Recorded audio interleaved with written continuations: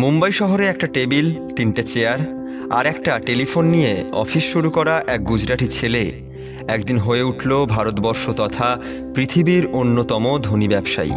পঁচাত্তর হাজার কোটি টাকার কোম্পানির মালিক। আসুন শুনে নেওয়া যাক পদ্মবিভূষণ পাওয়া এই অপরাজেয় ছেলেটির কাহিনী। ছোটবেলা থেকেই পড়াশোনায় মন বসত না ছেলেটার। বাবা গ্রামে স্কুলের শিক্ষক হওয়ায় এই নিয়ে বিস্তর ঝামেলা, অশান্তি চলতো বাড়িতে। ছেলেটার মনে হতো পড়াশোনা শিখে কিছু হবে না। একমাত্র ব্যবসা করতে পারলেই পরিবারের মাথার ওপর থেকে অভাবের কালো মেঘ সরাতে পারবে সে। কিন্তু ব্যবসার জন্য চাই টাকা। তাই উনিশশো আটচল্লিশ সালে মাত্র সতেরো বছর বয়সে নিজের দেশ ছেড়ে পাড়ি দিল আরব দেশে। সেখানে গিয়ে এক আত্মীয়ের সহায়তায় একটা পেট্রোল পাম্পে তেল দেওয়ার কাজ পেল ছেলেটা। আরও আরও টাকা উপার্জনের জন্য এই চাকরির পাশাপাশি আরও কয়েকটা পার্ট টাইম চাকরি নিল সে। তখন আরব দেশে রূপোর কয়েনের চল ছিল। ছেলেটা খেয়াল করে দেখল একটা রূপোর টাকার যা মূল্য, তা যদি গলিয়ে ফেলা যায়, তবে সেই গলানো রূপো আরও বেশি দামে বিক্রি করা যায় বাজারে। ছেলেটা শুরু করল সেই কাজ।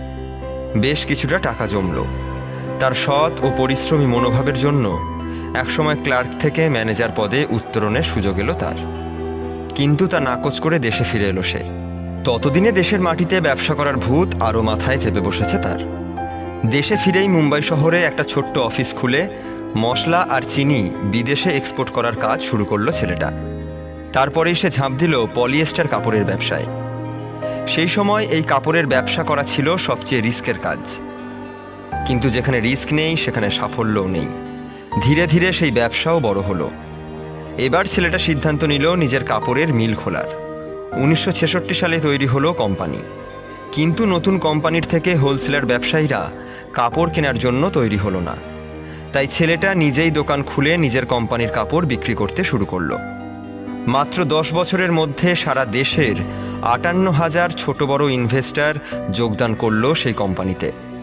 কোম্পানি এত বড় হয়ে গেল যে তার কয়েক হাজার কর্মীকে নিয়ে অ্যানুয়াল জেনারেল মিটিং করার জন্য স্টেডিয়াম ভাড়া করতে হলো ছেলেটাকে। এখানেই থেমে থাকল না ছেলেটা। এবার ব্যবসার জন্য সে ঝাঁপ দিল, energy, power supply, information technology, retail, capital মার্কেটিংয়ের মতো বিভাগে। আর যে ব্যবসাতেই ছেলেটা তার হাত ছোঁয়ালো শোনা হয়ে গেল কয়েক বছরে। তার ওপর লেখা জীবনীতে ছেলেটা বলেছিল, আমি রিস্ক না নেওয়ায় বিশ্বাস করি না। বড় ভাবো, সবার আগে ভাবো, রিস্ক নাও। সামনের দিকে এগিয়ে চলো।